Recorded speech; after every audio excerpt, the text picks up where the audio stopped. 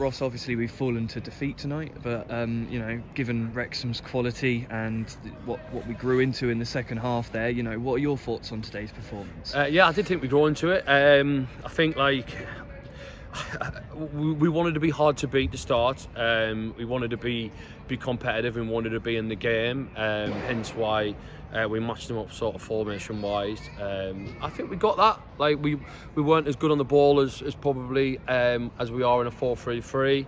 Um, but in the 3-5-2 we were competitive and we were hard to beat and we were compact and, and, and having that extra player on the back line helped us. But like I think, do you know the disappointing thing? The disappointing thing, obviously, the two goals come in the middle of the half. Um, they haven't ha- had to do something wonderful or great. Like it's it's a set piece, it's a throw in, um, and it's a it's a missing first contact and second contact, and then obviously Mullin running in behind and uh, with a good finish. So I think that's the most disappointing thing. Um, like we haven't actually made them work to find their goals, but like. Um, similar story to last week um, when we're behind. Um, we, we were in the 4-3-3 a little bit more, going man for man out of possession, and uh, we were much, much, much better, much, much better.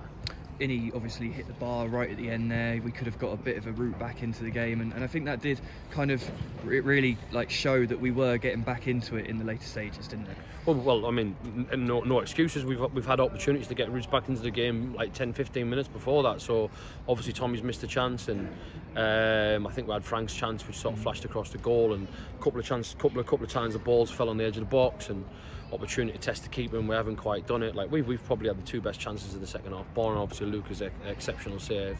Um, which is disappointing really because you want to you want to make them work for it and you, you want to put them on the back foot and see what they've got about them at 2-1 and or see what we can do at 2-1 and um, we can't say we haven't had the chance to do so. Like I mean some of the football we played second half by the way was very very good.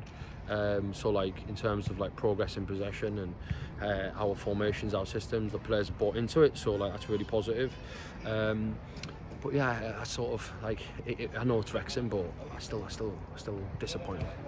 Yeah, as you say, you know it's Wrexham. You know we, they've got Paul Mullin, which is a quality striker up there. They also, you know, cause a lot of chaos with their long balls into the box, and, and ultimately that is maybe what we fell victim to today. Both of those things.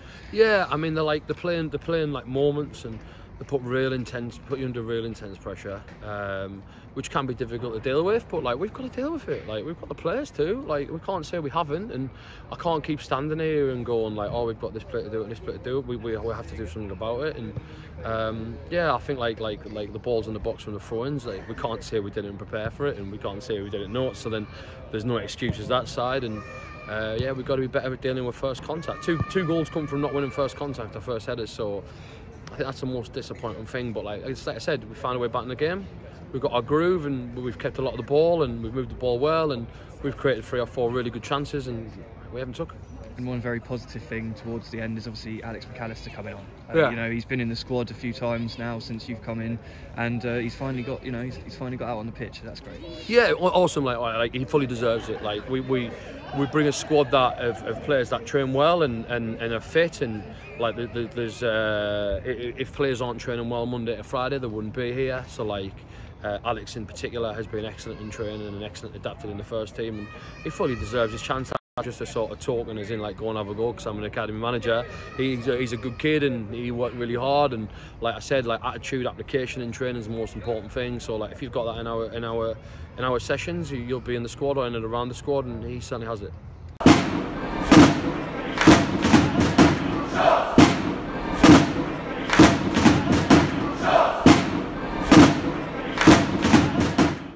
Click here for the latest match highlights and click here to subscribe. Are you in with a shot?